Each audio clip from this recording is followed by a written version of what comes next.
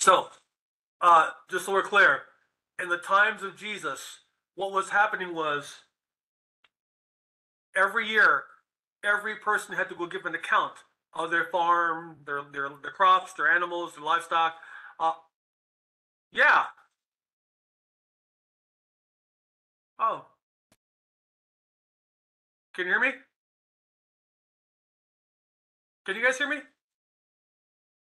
Yeah, people can hear me. I can hear you. Yeah, Pamela, you can't hear me? She's upstairs. Okay, she's gonna probably go up, come again. She, I don't know if you guys can hear her. She was like, "I can't hear you." I'm thinking like, "I can't hear you." So, okay, I'm sorry. Okay, she's gonna get back on. Okay, so what I was saying was at the time of Jesus, um, where you had to go. Can you hear me now, Pamela? Testing one two three. Test one two three. Okay, I hear you now. Okay, okay, great. Welcome. okay. Um, so like I was saying, at the time of Jesus, where every year you have to go give an account uh, for your crops, your, your livestock, your land, your property, um, any babies born, you just had to give an, an accounting of what, what you had. Now, during the year of uh, uh, the season of Yom Kippur and making amends, um, you you know, there's literally there's a chart on what you have to like. For example, if you shed innocent blood, what is my penance? And the penance would be like two turtle doves and a, in a bowl, or you know whatever whatever the the, the sin was. There was a a uh, a chart on what you had to offer as a sacrifice instead of you. So if you told a lie, it would it would cost one sheep. You know what I mean? So there was um a a, a, a pay scale, a pay chart on what you had to offer for your penance. So that's bad enough. That in itself is bad enough, bad enough. But what was happening was when you went to go bring sheep so people could buy them, so they could use them for their penance, the guys who were in charge of the money increased the prices for the sheep. So in other words, if you if you own sheep and you're coming to Israel because you know people were going to go buy your lambs so they can sacrifice them, the money changers charged you for that. They charge you to, to sell your sheep. So there was a pre-tax on that. So in a, uh, for example, if I had 10 sheep, I'm going to sell each one for a dollar, right? So I'm going to make 10 bucks. Well, they're charging me 20.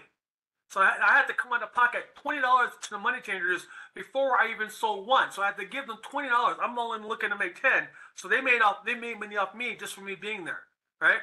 But then for the people who were going to pay a dollar, they would charge a dollar fifty. So they were making money off the people offering the livestock and making money off the people who were trying to buy the livestock. So they were charging too high on this side and too much on this side. And then if you sold something, you got taxed on the way out. So they are making, they are literally, literally robbing people blindly because they knew you had to buy it.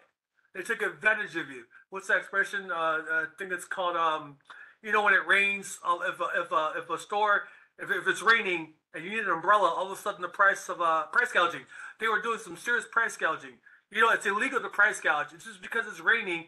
You had umbrellas for sale for five dollars. All of a sudden, starts raining. You jack up the price to eight fifty. That's wrong. It's price gouging. So the money changers at that time were the most hated, the most uh, uh, uh, uh, shunned people because not only they charged the people who had livestock and flock and sheep, they also charged the people who they knew you're going to have to buy, so you can God can forgive you for sins. So they were like charging, and then plus, plus, plus, plus, it being because where they were at the time with Rome overseeing everything, and then being from the Greek language, uh, people from Egypt, from Turkey, they were all coming, so they kept charging you on your currency exchange. So they were making millions.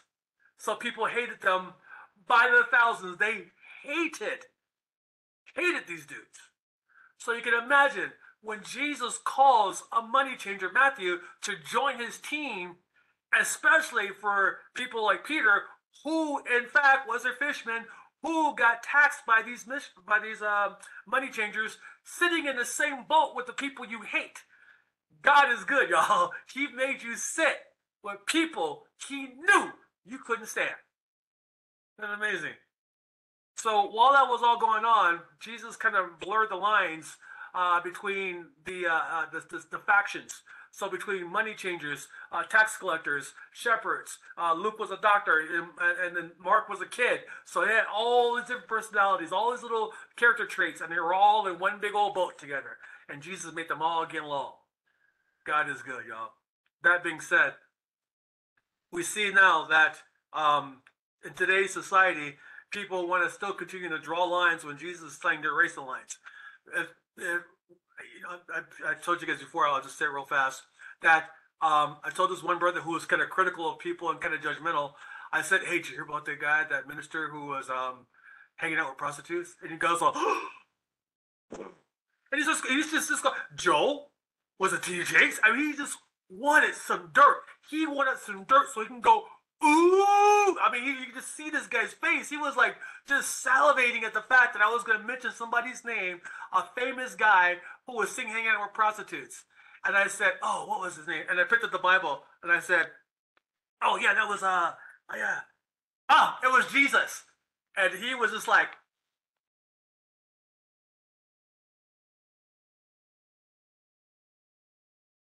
he didn't cuss at me, but I knew he called he called me every bad word name in the Bible. I mean, he was just like, and he wanted to just go off me. You could just tell he wanted to go off, but he was like saying, "I'm not gonna say it. I'm not gonna say it. I won't give him. I won't give him the pleasure. I won't say it." He just walked away from me.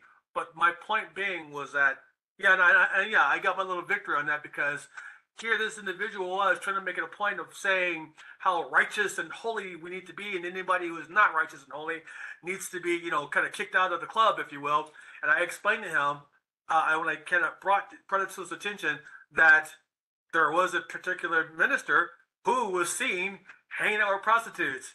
He, he just was like felt like yes. I mean, he just couldn't wait to put this in a post or a tweet or some kind of IG post. I mean, he was just salivating, looking for the opportunity, and then pointing out his own self. There's nothing worse than being like when Nathan went before went before King David and said, "King, check this out. There's a guy who was taking advantage of somebody else's sheep," and David was like, "What? Oh no, no, no! We need to kill this dude! No, no, not in my kingdom. We don't allow that. No, no, no, no, no!" And Nathan says, "My king, the individual is you." All needs to be said. All that needs to be said. Same thing with Judah. When Tamar, when he slept with Tamar and then denied her that right, and then uh, the brother said, the guy, uh, Tamar said, the person who owns this staff, this signet, and this ring, he is the one who slept with me. And then he was like, okay, touche. Touche. Touche. So I love that fact. I love the fact that um, when you try to act so super righteous and so super holy, that God has a way of um, showing the issue is you. So I just want to just kind of clarify that because um, I, you know, we we're not we're we're not called to hate. Uh, we're called to like obviously hate the sin, but love the people. Okay. So that being said, try to try not to be so us and them. Um, yes, there is an us and them. We are to call to separate ourselves from the world, uh, but we still need to exist in the world in the in the hopes that we would win some for Christ. So we got to work together. We got to get along somehow. So I just wanted to share that with you guys. Uh, that being said, so um, in accordance to kind of go with the flow um, that we talked about for the past few weeks about even the rainbow and the colors. Um, I want to talk about just taking this because I brought this up on Wednesday, so kind of put it on full full full spectrum because when we talk about colors, I mentioned that uh, the Bible is so vibrant with color. I mean, Joseph had the coat in many colors, which was a rainbow, by the way. And as we're going to get into that in a second, so all the colors of the rainbow are displayed, even in the high priest high priest uh, ephod. So God is very bright, vibrant. He's very uh, uh, um, um uh, uh, infatuated with the different shades and the different colors. And reason being, uh, even in the throne room, the Bible says there's a rainbow around the throne, and so there's sardis and and well, it's turquoise and and uh, um, sapphires and rubies and diamonds and emeralds, all these beautiful gemstones. Are surrounding heaven, which means that light that it emanates, it's so beautiful. It's a radiant place full of color and beauty. It's a beautiful thing. It's a beautiful thing. So again, talking about the rainbow, talking about the colors, uh, we're going to tie it, tie it all in this time uh, with this session. And we're going to talk about the 12 jewels of Israel. As you can see from the C file, it's a, it's a really a, a bad display, uh, but you can see how there's violet, blue, red, gold. Uh, there, there's white there and light blue, so it's not really you know a, a, a perfect color rainbow. But with the human eye, we see the seven colors on any on any any given day after a rain has come through. But there are a whole lot more variety shades of color within it. It's just that the human eye, when you see it bright on the sky, so one before. I'm sorry. Um, that being said, I was going to say these words. There are other colors that are uh, are there are uh, uh,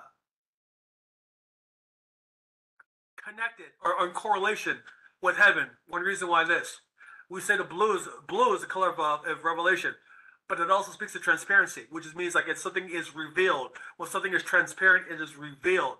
So the Bible says, "And God separated the waters from our uh, separated the waters from the heaven above and the earth below." So in that spans, as it's called, the separation of the waters above and water below. Water is clear, but according to the, the spectrum of light, when when the earth the curvature of the earth bends, what you see is the color blue, which present then presents the blue sky with the blue water, which is why we get that blue color because of that that ray of spectrum when the earth curves and the bending of light, the blue hue is a spectrum we see, which is why reflected from the sky when, when on, on also in the water. Now, if you were to hop on a spaceship and go out in space, it'll be 12 o'clock in the afternoon. But when you go out in space, it's all black. Why is that? Why is it when you go out in space, it's all black? Because you're out of the spectrum of light that is hitting the earth.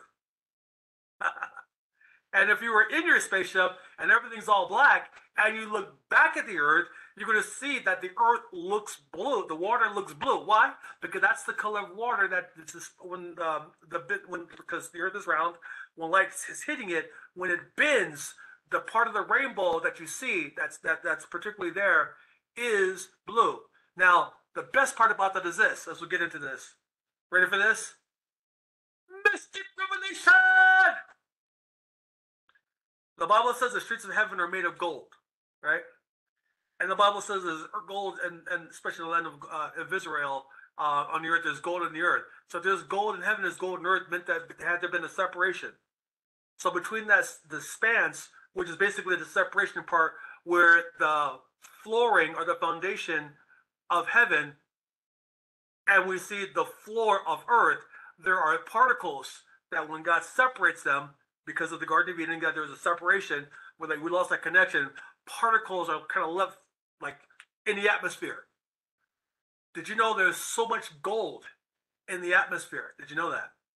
Gold is, is weightless. That's one reason it floats. So the particles of gold in the atmosphere, when light hits gold, it turns blue. Good afternoon, everybody. So one of the reasons why the color spectrum and the curvature of the earth when light begins to hit the earth, the reason why you see blue water is because of the curvature and the bending of light uh, hitting, bouncing off the gold in the atmosphere, uh, and the, the bending of that light, we see the blue hue, which reflects the sky and also the water. Have you noticed that if you've ever been to the beach or a lake, sometimes the water looks green, but yet the sky don't look green? water is clear. It's crystal clear. Why then is it reflected off of the sky? Because light is bouncing back off the gold in the atmosphere. Just so we're clear. Let's talk about the 12 jewels.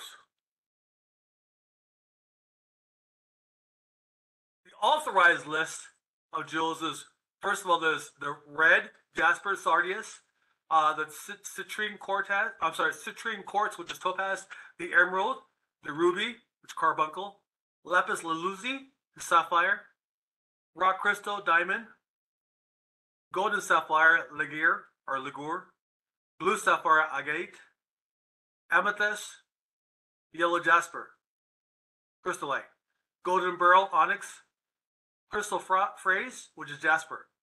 The Hebrew names are Odem, Pittah, Baraketh, Nophek, Saphir, Yaholam, Leshem, Shibo, Alama, Tarshish, Shalom, Yosefeth. Now, isn't interesting? You probably have seen these words once or twice in the Bible, but had no idea they meant the color. Isn't interesting? Sands of the seashore.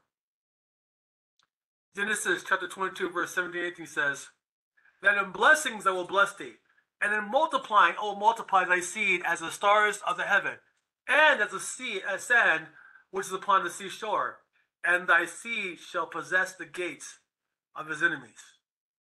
And in thy seed shall all the nations of the earth be blessed, because thou hast obeyed my voice. Most of the gemstones are sand based.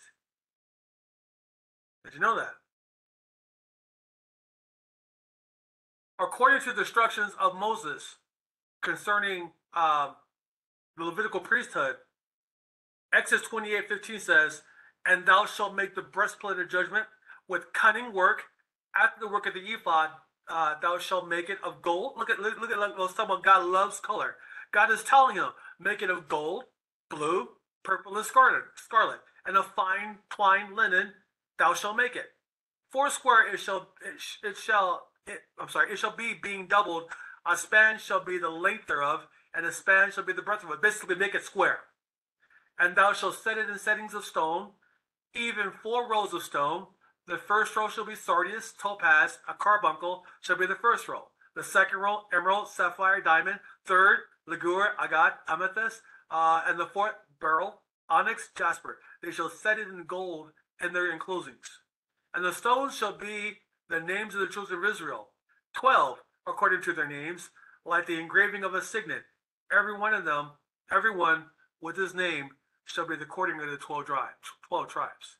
Now, isn't it interesting that God chose a specific color for each tribe? Interesting. As you can see here in this, in this uh, uh, image right here, you can see how a rainbow could be seen from the uh, the you know from the red to the gold to the yellow to the green to the different phases and phase phases uh, shapes of them. Sorry, from like the dark blue to the high blue of the blue into the pur- uh, purple to the violet, all kind of creating a rainbow effect without really being put in rainbow order. Every gemstone should be soft enough to engrave it by the usual engraving techniques known in ancient times. These jewel stones should be large enough to engrave names upon it to be easily readable from an arm's length distance.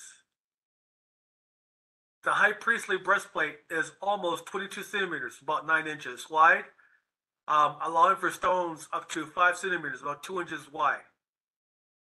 So the whole the breastplate itself is about 9 inches, which about 2 inches for each of those things, leaving about 246 with some space on both sides. So you got about 3 inches to play with, about an inch on each side. So God even str- strategically mapped out the ephod to place it, I mean, beautifully, perfectly set. It's amazing how God took the time to lay out the colors matching each son of Israel.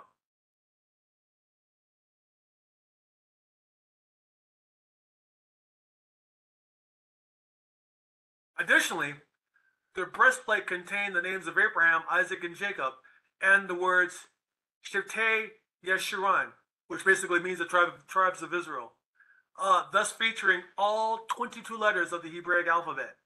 So even upon the, the high priest is literally contained within it every single letter of the Hebrew alphabet.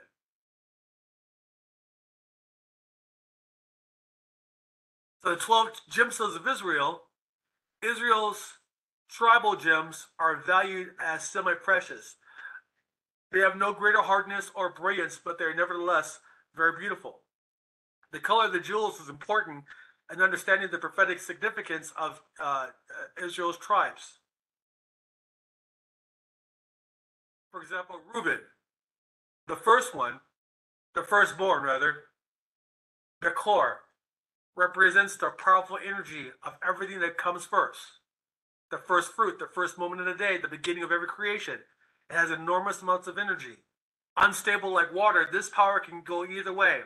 If harnessed properly, the Bakor, the beginning, the Ruvan, energy can change worlds. If abused, it can destroy.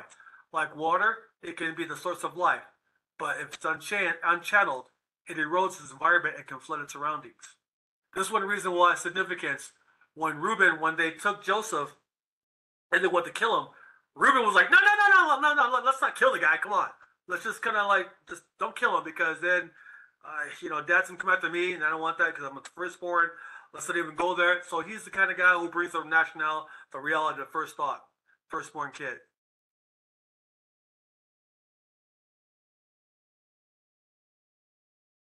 Simeon, the aggressor.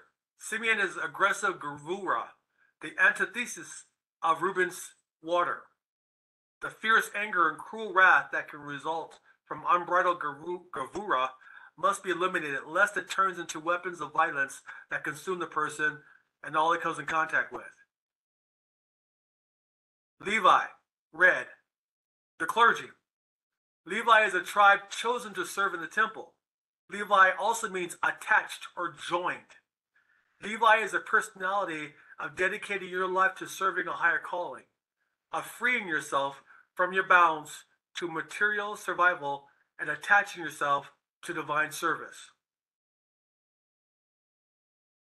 Judah, the Sardane, it's a pale gray, pinkish color. The leader. Judah means acknowledgement. Judah's name includes the four letters of the divine Havaya, Yod He Judah is the leader. His descendants would be the kings of Israel, beginning with King David and concluding with Jesus. Dan, white jade, misty white, the judge. Dan is the path of law and order. Dan actually means to judge. Naphtali, the free spirit, free spirit. It's a purple violet color. Naphtali is uh, the free spirit personality, like a deer running free, breaking out of the statute, status quo. Independence is a necessary component in growth. Yet, this free spiritness must always take care to deliver words of beauty. Gad, chrysoprase. It's like an apple green or gold tinted green. It's the warrior. Gad is the warrior archetype. Expanding on the justice of Dan, Gad is ready to fight for his beliefs. The warrior is necessary to both defend our cherished values and protect our freedoms. Let me just stop real quick, I guess. Just so we're clear, the reason why it's significant about the colors is because when the different tribes, the, the, the 12 tribes were in of Israel were in um, uh, in the Exodus, um, when they would put the tabernacle up, all the tribes had to sit in an assigned area around the tabernacle. Did you know that? And so while the tabernacle is is the tent is the tents the, the tent pegs of the tabernacle are put in place north, south, east, and west. There are three tribes here, three tribes here, three tribes here, three tribes here. But every time they would get up, pack everything up, they pack up the, the tabernacle, all the um, the tent pegs, and begin to mosey out towards going towards Egypt, towards uh, Jerusalem, Israel. A lot of people can get either going slow, uh, walking too fast. You can get mixed up amongst your people. So what they would do is they'd wave a flag, and by waving that flag of the color, you just identify, hey, if you're, you know, we're, we're the pale green, we're Judah, we're over here. So you couldn't hear Judah Raiders, Kansas City Chiefs, and you couldn't hear nobody because everybody's screaming. So they, they would wave, wave up a banner with the color signifying this is our tribe, we're over here. So he, they, everybody had a flag that represented their color, so they knew what tribe you're following. So the person holding up, you know, this is black, but uh, whatever, uh, the, the jade, emerald color, whatever color that they had, they would kind of wave this around, you know, like you do at the airport, and you would just follow the flag. That's what the Bible says. And his banner over us is love. so you follow you follow the love flag. Point being.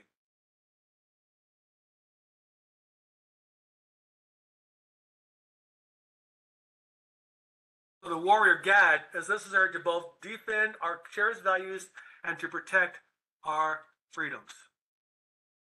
Asher, lavender, the prosperous one. Asher both prosperity and pleasure. Asher is the dimension of blessing beyond the norm, to be given more than what is necessary for survival.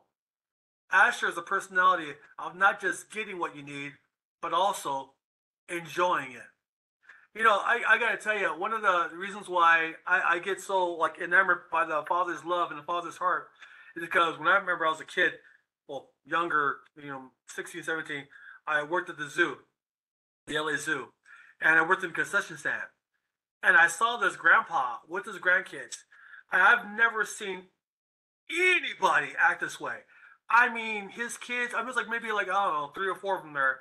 It was just amazing. Every little kid that came up to him, like, you know, Grandpa, Grandpa, let's go see the monkeys. He goes, okay, okay, okay. He goes, you guys hungry? And he pulled out his wallet and he just pulled out 20s. Like, here, here, go here, go, go buy some popcorn. Here, go, go buy some candy. Here, here. And then he would go, you guys got that money? You need some more money? Go here, take some more money. And I'm watching Grandpa just pour out money. It was just the most beautiful thing because these kids were just like, uh, hey, you think your friend wants some money? Does he have any money? I okay. hold here, give it to him anyway. Just no, just uh, you guys want your drugs. And then he kept saying, "Do you guys have enough? Do you have enough? Do you need some more?" And I'm just watching this guy like, you know, and I say that because generally from the concession stand, there's always a kid that says, "Ooh, mom, can I have that?" And go, "No, no, no, we got that at home. You don't need that right now. No, no, no, no, no, no." And so, you know, kind of like, not that, you know, there, was, it wasn't that the parent was being mean, but literally kind of like said, you know, ah, you can tell they're on a budget, you know, limited funds. I, I understand, I understand. But to see the contrast of this guy going, do you have enough? Do you need more? No, no, no, air. Just take more. Then he goes, just to be on the safe side, have 20 more. And it looked like he gave each kid at least 70, uh, uh, 50 to $70 each kid by saying, why don't you go get something to eat?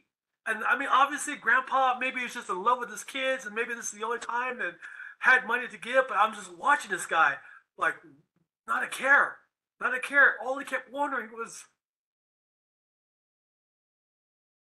do the kids have enough? Here, you need some more. And he just kept pouring his love on his kids. You know, the kids were like, yeah, I got enough. Oh, there's more than enough. Oh, there's more than enough. Pack of popcorn's a dollar, y'all.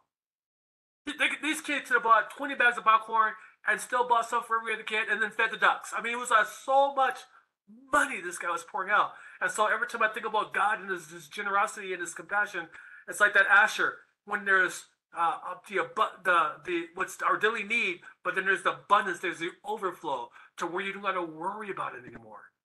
It's a beautiful thing, y'all. It's a beautiful thing. So every time I every time I always think about, I'm just letting you guys know my the inner workings of Andre's mind. When I think about God's abundance, I think about that grandpa blessing his grandkids. And it's, it's still to this day, it just touches me. Um, so Asher is both prosperity and pleasure. Asher is a dimension of blessing beyond the norm, to be given more than what is necessary for survival. Asher is a personality of not just getting what you need, but also enjoying it. There's one thing about getting your bills paid. Thank you, God, for paying the bills. It's a blessing when you know that there's enough money in the bank after you pay your bills, you have enough to go buy pay somebody else's bill. That's how you know you are blessed. When after all of your needs are met, you have enough finances to go bless somebody else. It is in that frame of mind that God is preparing us to be in, not just to just barely make it, but to have more than enough to bless somebody else. And now we're on the subject and topic about the tabernacle. The tabernacle of Moses, as we were talking about, the tribes of Israel had to give the tribe of Levi because they were not given any land. They're the ones who were sole, their sole mandate was to cater to, take care of, and service the tabernacle in the house of God. That was it. So by the other 11 tribes were then required to take a tenth of what they had to support and to financially bless the tribe of Levi. The tribe of Levi themselves had to take a 10% tithe and give it to the tribe of Aaron. But they're the ones specifically assigned to walk in as high priests.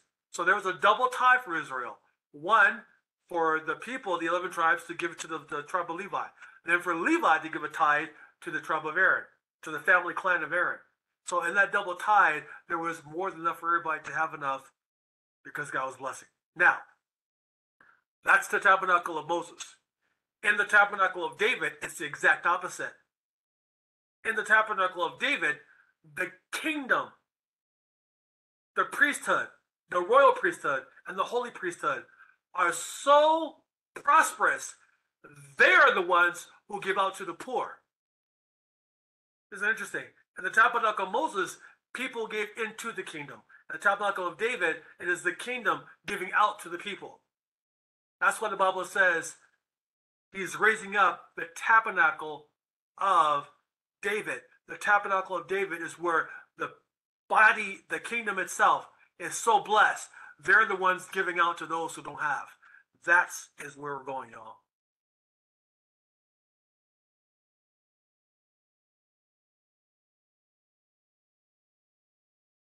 Issachar, the Amazonite, sea green, blue tinted green. This is the scholar. Issachar is a scholar. Scholarship provides wisdom, clarity, and direction. It is the foundation of any system. Issachar is the dedication to immerse in study and education. Issachar is the dedication to immerse in study and education. Zebulun,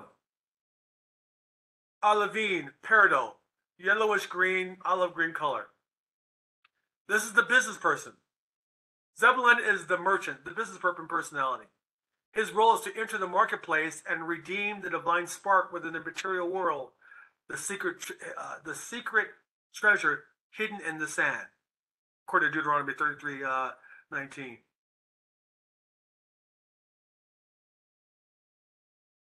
that says, They shall call the people to the mountain. There they shall offer sacrifices of righteousness, for they shall suck the bounty of the seas and treasures hidden in the sand. The treasures hidden in the sand. That is the mandate to obtain the treasures hidden in the sand. You'll get that in the morning. Joseph, the green jade, spinach green, pale to dark. This is the sufferer. Joseph is the element of suffering in life.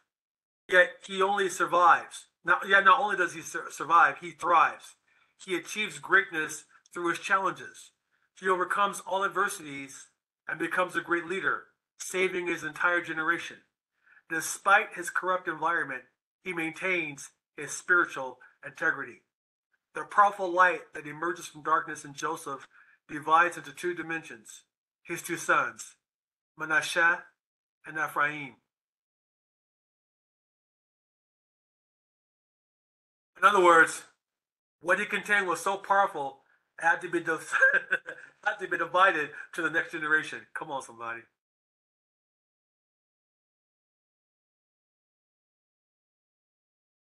Benjamin, the lapis lazuli, the sapphire, with uh, sapphire blue with gold flecks. The ravenous consumer. Benjamin is hungry, hungry for divine spark in all of his existence. So, like a ravenous wolf, Benjamin recognizes that his mission is to pass passionately seek out the divine energy embedded in matter, devour it, consume it, and elevate it. Now, take a look at the stone. Okay? Isn't it beautiful? Just in its own natural beauty. Now, just so we're clear, when the Bible says when Moses went to go meet with God on Mount Sinai, when God was then carving out the ten utterances, the Bible says the ground that Moses stood upon while he was talking to God turned into that sapphire gold. So it's got this bluish uh, sapphire with the gold flecks in between. Is what happens when you encounter God. The environment that you're in begins to change like heaven. And the Bible says that out of these stones were carved. So what we're talking about is those that go, Uh, just so you, the original commandments were carved within this stone. So the Ten Commandments were written on this lapis lazuli.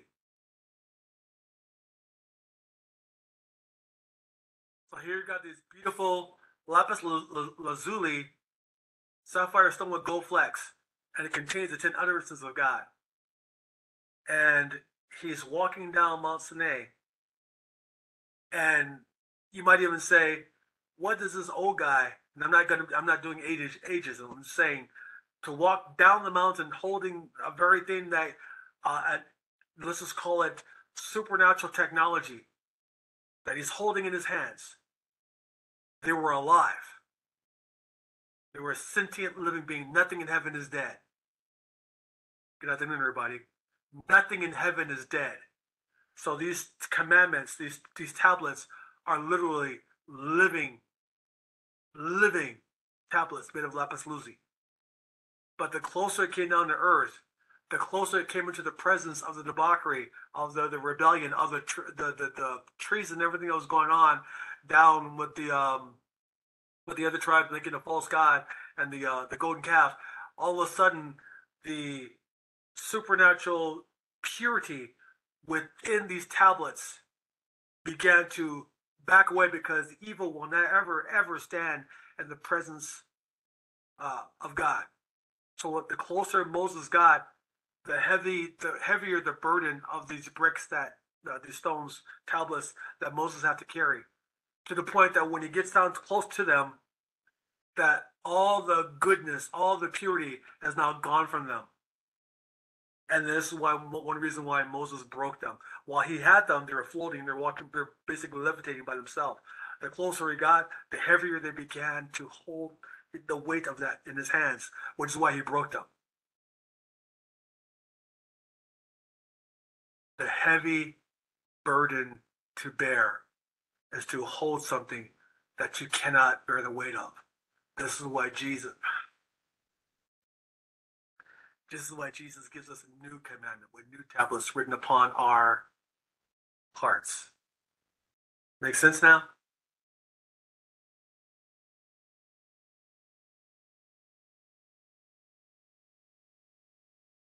like the ravenous wolf, Benjamin recognizes that his mission is to passionately seek out the divine energy embedded in matter, like the Ten Commandments, devour it, consume it, and elevate it. Jesus, our high priest. The 12 apostles. Revelation 21 11 says these words Having the glory of God and its light was like a stone most precious even like a jasper stone, clear as crystal. And it had a great and high wall with 12 gates. And on the gates were 12 angels, and having names inscribed, which are the names of the 12 tribes of the sons of Israel. From the east, three gates. From the north, three gates. From the south, three gates. And from the west, three gates. It's like the tabernacle of Moses. Moses had the tribes sit down, three in the north, three in the east, three in the south, three in on, the, on the west. And the wall of the city had 12 foundations, and in them were the names of the 12 apostles of the Lamb. So you have, just to kind of get the visual here, you've got three, three, three, and three different colors, the beautiful colors um, uh, of uh, the sons of Israel. So around the throne room was a beautiful emanating gemstones, radiating beautiful color. But even the foundations were 12 layers deep of, again, 12 different colors. So you've got colors under the foundation, colors on the walls, and colors on the gates. Ah, I mean, there's color everywhere and bouncing off that radiant light. So it looks like a beautiful. Have you ever have you ever seen somebody's diamond ring or a wedding ring, and you look at it and it just kind of shimmers with all these beautiful colors, and everywhere you turn is a different color? That's what heaven is like. And it's gonna shimmer and just kind of like this this beautiful bright light of these bright beautiful greens and blues and, and uh, amber gold colors just bouncing off everywhere because it just the light is just radiant. So all these beautiful, beautiful different colors are all going off at the same time. What a beautiful place it's going to be when we get there, y'all. And the wall of the city had 12 foundations, and in them were the name of the 12 apostles of the Lamb. So the walls had the 12 sons of Israel. The foundation had the 12 apostles of, of the Lamb. 2118 says these words, and the building of the wall of it was as jasper, the spinach green, and the city was pure gold, like unto clear glass. And the foundations of the walls of the city were garnished with all manners of precious stones. The first foundation was jasper, the second sapphire, excuse me, the third chalcedony, the fourth an emerald, the fifth sardonyx, the sixth sardius, the seventh chrysolite, the eighth beryl, the ninth a topaz, the tenth a chrysoprase, the eleventh a jacinth, the twelfth an amethyst. So the top color is like a beautiful purple color. So this is just kind of like a, visual imagery um, of what it looked like on the east side, the north side, south side, and then the west side. One of the predominant colors is the um, uh, gr- well, well, green, but the the, the, the uh, green jade, the emerald jade, Amaz- Amaz- Amazonite. Oh my gosh, Amazonite, the uh, peridot, and the chrysoprase, uh, and all these other colors. Still, like each side had a variation of green in it. Not every side had a bluish color. Not every side had a pinkish color. Not every side had a gold color, but every side had some form or some degree of green in it. Isn't that interesting? So there's a strong, strong green persuasion that surrounds not only the gates of heaven, but the foundation of heaven.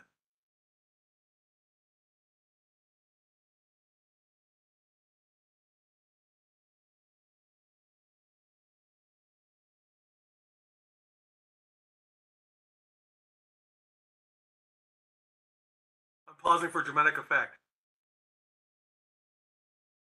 So you can see on the east side, the spinach green, the sapphire blue, the misty white. North side, emerald green, pale gray pink, red. South side, honey gold, sea green, yellowish green. And the west side, apple green, lavender, purple, purple, violet.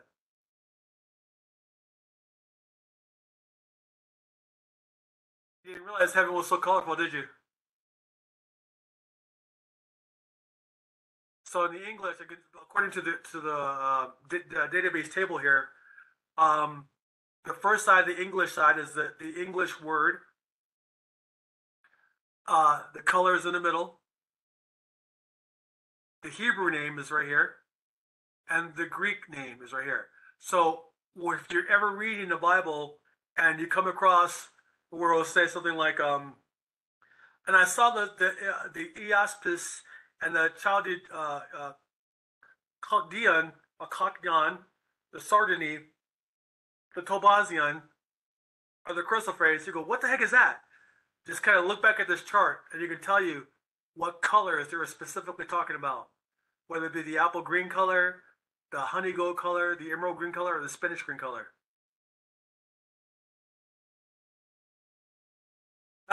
South side of the kingdom. I love that south side of the kingdom is uh, honey gold, sea green, and yellow green. But it's really interesting. Uh, it, it all just kind of uh, it works. You know, the first, the east side is kind of weird because you got the spinach green, the sapphire blue, and the misty white. Not a fan of that color combination, but I get it. I get it because it takes uh, what is it, blue and yellow to make green. So somewhere in between there, there's a yellow uh, hidden hidden yellow somewhere, And remember we talked about in Deuteronomy uh, 33:16, finding out the uh, I'm sorry, uh, 33:19. They shall call the peoples of the to the to the mountain. There they shall offer sacrifices of righteousness, for they shall suck the bounty of the seas and treasures hidden in the sand. So when you look at the lapis lazuli, there's obviously something about the blue because green and yellow make. I'm sorry, blue, uh, blue and yellow. Yeah, blue and yellow make green. So there's something about having on the east side the spinach green and the sapphire blue and the misty white. I, I like to like to really look into that because why is that? That's significant. And then we have got the, the lavender and the purple violet because red and blue make purple violet uh, and or lavender. So I would like to understand from the west side. Interesting enough, the east side and the west side, um, how they've got color combinations. Yet the north and south are pretty much, pretty much set. They are what they are. They are what they are. So I know most of you guys are probably trying to figure out like uh, uh, your birth color and your birthstone has a whole lot more to do with the 12 tribes and the 12 apostles. Also, with that, on the color spectrum, we talked about it for the past few weeks, uh, the, the, the, different vibrations that it, that it gives off. So you may be attracted to a particular color, and I'm not trying to get all horoscopy or, or weird cultures on you. I'm just saying that heaven, heaven specifically, God Himself specifically told Moses, I want blue, I want purple, and I want gold. That's what I want. So he actually chose the color pattern, chose the material, and the way to lay it out. So not only has God an interior decorator, he's mimicking what's happening above down on the earth below. So we are to have that beautiful place here on us, on, on earth. So yes, there may, there could be an attraction or a pull towards a specific color. Like I love the lapis lazuli. I love that because I love my color. Blue's my favorite color. Uh, but to understand and to go, oh wow, it's also the color of revelation, of transparency, and it's just a beautiful thing that kind of fits into the whole prophetic stream. So I'm like, ah, I get that, I get that. Now I'm just now I touch on the horoscope. I'm saying it because while growing up, I I dabbled a little bit in horoscope. Not that I was all into it, but you know the thing, the style was, oh, what sign of you? Oh, you're a Taurus. Oh, okay, so you like green. And I thought like, do I like green? Oh, that's cool. That's all right all right, I guess I'm a Taurus. I'm supposed to like green. So I thought I was supposed to like it because somebody said uh, Taurus is green. So I, I thought that was my color. So I was like, but all in reality, I go, gosh, I wish my color was blue. I, I said that. I literally said those words. I wish my color was blue because that's, I'm, I'm, trying, I'm drawing the blue. I'm not drawing the green. I'm drawing the blue. I mean, green's okay. Don't get me wrong, but I'm drawing the blue. So I'm not talking about horoscopes. I'm talking about what you feel everyone's got their favorite color. Everyone's got that that initial color they just can't live without. There's an attraction. There's an, a reason why you're attracted to that color. There's a reason why. There's a spiritual reason why you're attracted to that color. One, it's probably somehow connected to uh, either one of the 12 apostles or the 12 sons of Israel. So look at, the, yeah, Judy Purple, yeah, yeah. Look into that. Look at that. It should, it should be fun. So I want to kind of like tie in from we're talking about the colors of the rainbow. And then we're talking about the color schemes about how you were able to persuade and manipulate and understand understand why the frequency and vibrations of different colors uh, cause you to act different ways in various ways. But then also understanding how every tribe of Israel had its own color, and also every um, apostle of Jesus had their own color. So there's all these these connections with color um, I, I did the spiritual crown, so I don't know if I should do that again, but I, there's a spiritual crown uh, uh, YouTube video that also goes more into depth about different colors. Because on the crown, when a king puts a crown on his head, he's got all these different gemstones on the crown. And it's so beautiful because spiritually saying, but if you were to rotate the crown, different revelations take place even back this way, different things happen in the spirit realm. So even the way the rotation of the different colors in a, particular room or atmosphere changes the environment, brings solution and deliverance.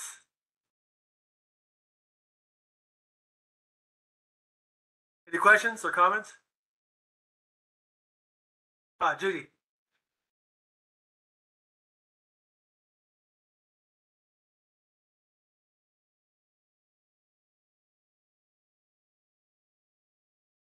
Uh, we can't hear you, Judy. Hello? Oh, I'm sorry. Yeah, that's not good. you- we go. I was just talking. You know when um in the beginning when you put the 12 jewels up, like the chart with all 12, can you put Yeah. that up again so I can catch a screenshot of it? Oh, sure, sure.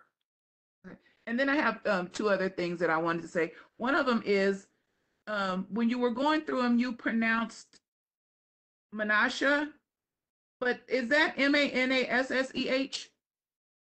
Yes. Well, not okay, not that one. The one that literally had the jewels on it. Oh, Like, the first, yeah. That's Seven's middle name, and I've always pronounced it Manasa. So I'm saying it wrong. no, no. oh, this one? Uh-huh, yeah, that one. Thank you. Okay, I got it. And then the, the other thing I wanted to say was um when my mom passed, you know, well, you guys know it, it was really hard. And um I read this book and it was about um a man who had died and gone to heaven and came back. And he one of the things that he talked about was the colors and how vibrant. He was saying like, you know, the blue is like a blue that you've never seen before and just saying how beautiful the colors were. And he said, um, and this was the thing that I got from the whole book that really helped me. He said, when people die and go to heaven, like when they're like in the process of dying or whatever you would say, it's not that they want to leave you, it's that they get there and what they see is so beautiful and irresistible that they just want to be there. Yes. And so it's not, you know, because we feel like, well, why did they leave? You know, I didn't understand. And especially the way that my mom passed, like it, it made no sense to me. I I couldn't believe just because of how my mother was so giving and everything. And I don't share this often, but I'm gonna go ahead and say it. She she was having a procedure on her heart and she she died on the table. And that really hurt me just knowing like who my mom was and how she was and everything. And so then hearing it from that perspective, I could see my mom like, oh, I want to go over there. Like that, that, that made it better. So I just wanted to say, share that. Wow, thank you for that. Yeah, I, I, I, I don't know if I, I've told you guys before, but there was a, um, a woman who, um, her mom had, I'm sorry, her aunt had passed, and she actually left God. She left the church because she said she prayed, she fasted, and God did not revive her when there was, you know, the time before she passed. And so when she did pass, she felt God isn't real because God didn't answer my prayer. God didn't deliver me. God didn't help me. And so she had all this animosity towards God because God didn't answer her prayer. And she goes, I did everything. And she did, she went to the motion. She goes, I, I blessed my pastor. I blessed the poor. I fasted. I gave. I went to every, and so she thought by doing all these works was going to somehow, you know, um, get her prayer answered. And it was more or less than she said, you know, the only reason why I came here because my, you know, my, I was told to, but I am still angry and I'm mad at God because he didn't save my auntie. And I'm just sitting there going like, well, what happens is this. Eh, when people, when they pass on, there's in some, some, in certain cases, they're given the opportunity to come back if they got unfinished business or if they really feel, you know, I can, I can make a difference if their destiny or their assignment's not fulfilled. But the thing is this, all the pain they were feeling on earth is gone.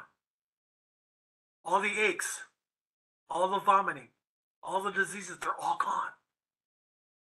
So what happens is when they're in that in that place in in heaven before the Father, and there's no pain, and they're happy, a lot of times they choose to stay where they are. And she goes, "Oh, so it wasn't me?" And I'm thinking like, "No, why, why would you think that?" And she goes, "Oh, because then she she realized she goes she was in a lot of pain every day. She was in agonizing pain. So this is a good thing. Oh yeah, it was a good thing." And she goes, "Oh, okay." And that's all it took. It's all it took for her that that, that the the realization is they are truly in a more better place where there's no more pain. And it just took that little nudge right there. And so, you know, she's going back to church, still loving God because she took a personal, like, why didn't God answer my prayer? we also have to take that person's perspective. And if they're not feeling good, if they're in pain, why bring them back to where you go, woohoo, welcome back, auntie? And she's like, ah, me back.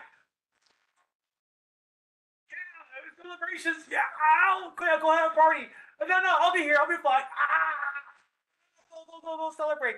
Ah, God, just kill me. You know, then they, you know, they get in a place where they just want to die. But no, no, you know, selfish you. You gotta have, you know, bring her back. So if they're ready to go, it's time to go.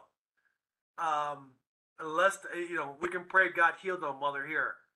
But if that's the case, if that's not the case, then we need to understand that uh, they're to finally be in a place where there's no more pain, where there's peace, and there's joy, and there's love. It's a beautiful thing, y'all. My sister, like I told you guys before, when she died, we didn't know the cause of death. We, I had just assumed it was by somebody drugging her, or her taking some kind of concoction that somebody gave her. Like the the phone call was the the initial call was, "Hey, uh, 911, yeah, there's some girl, she's dead, she ain't moving." That was 911 call. It was at a bar. She she worked, she was a bartender, and then it was like she she's she's not moving.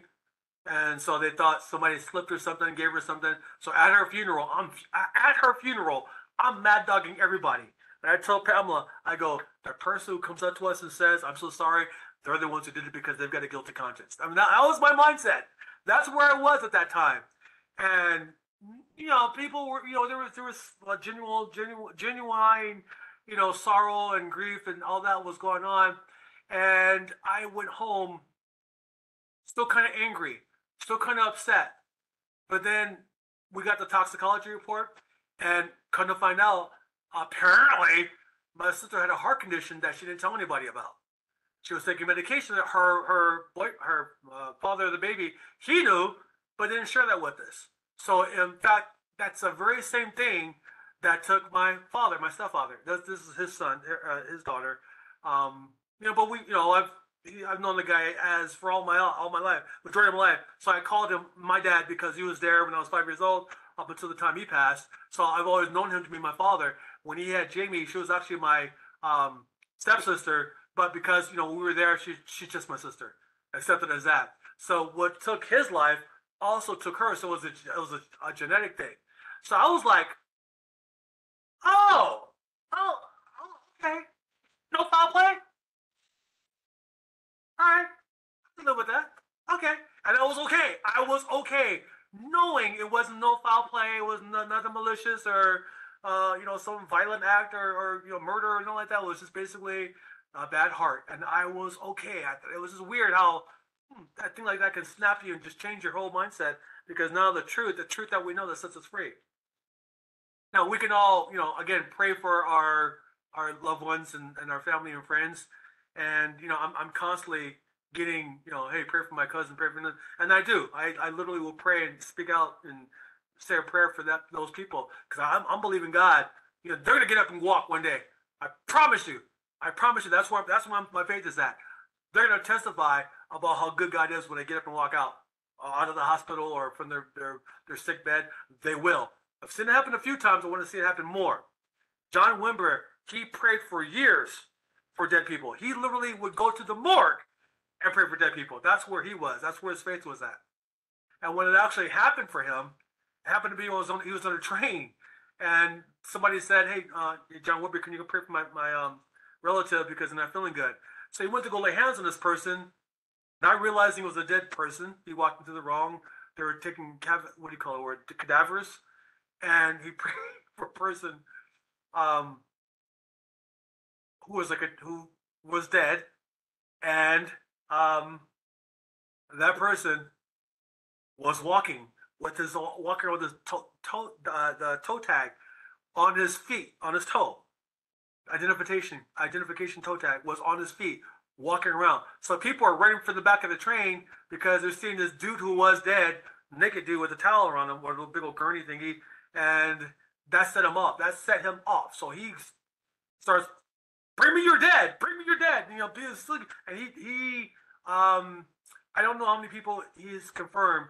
I know Heidi Baker has about 75 people confirmed.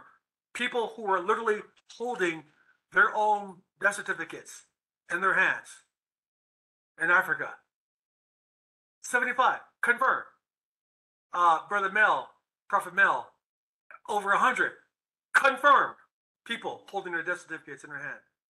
It's a beautiful thing because it is happening. I wish it would happen more for us. So that's where my faith is at. I see it happen. I know it's happening. I'm believing God is going to continue to happen and in greater fashion and form. And then you'll see the world change, y'all. Then we will see it. Any more questions or comments? My God, what's the prophet's name with over a hundred people? oh, Mel. Let me see if I can get that. Mel. Mel Tari. Uh,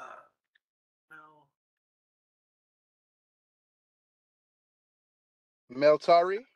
Mel Tari. T A T Mel M E L Tari T A R I. Such a humble, humble guy too. Sweet guy, sweet humble guy.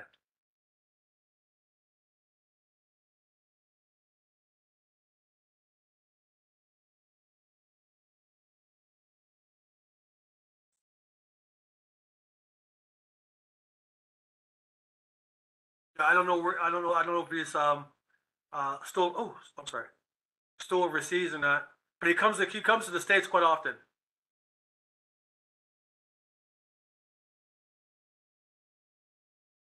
Thank you for sharing. You know I'm all over this type of stuff. oh yeah yeah yeah uh, itinerary.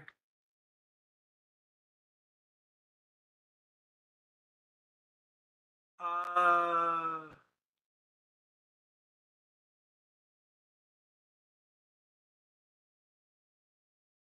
I don't, I don't, let's see. I'm, I'm, I'm on his web, I'm, I'm on his website right now. I'm just trying to see if I can figure out his. Okay, his website is just kind of like blah. Okay. Well, anyway, uh, Mel Tari and Heidi Baker, two people who I know have uh, personally raised the dead. Just gonna grow. Someone's gonna get used to it. I'm blurry.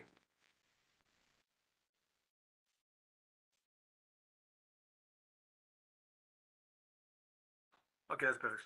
Uh, any other questions or comments?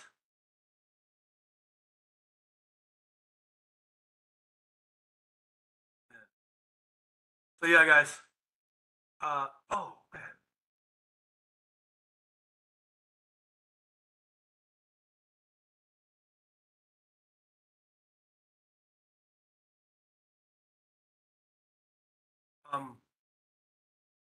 sorry, I lost my train of thought. I was gonna go do something else. Ah, what was I gonna do? Oh, Wednesday. No, okay. Uh, I want to shut my mouth. I always give out too much. I want to shut my mouth. Wednesday, get ready. uh, no previews. Just get get ready, y'all. It's gonna get crazy. So that being said, as we understand what God is doing and what God is doing in you, if you understand the pull, um, and you can go, you can kind of go back, and I'll probably put this in the in the um, the, the Facebook chat group, the colors and the the coordinating uh, attributes with them.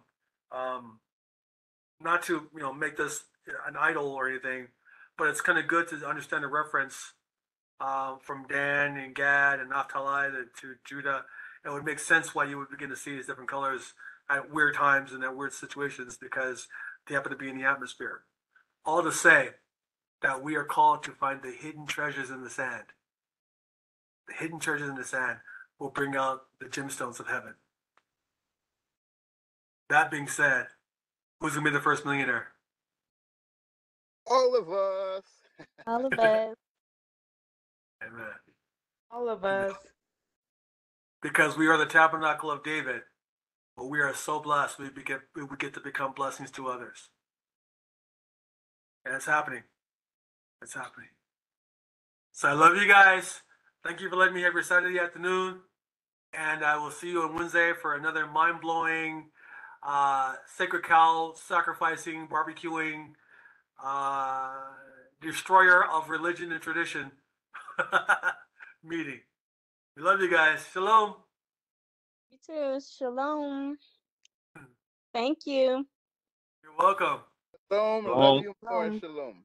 And happy Father's Day. Yeah, Oh, thank you. Happy Yep. Father's Day to you guys too. All fathers. Happy Father's Day. yeah, Yes, happy happy Father's Father's Day, Day, to all you dads. you. Thank you. And all you mothers pull, pulling double duty, happy Mother's Day on Father's Day. Thank you. I'm definitely one of them. Welcome.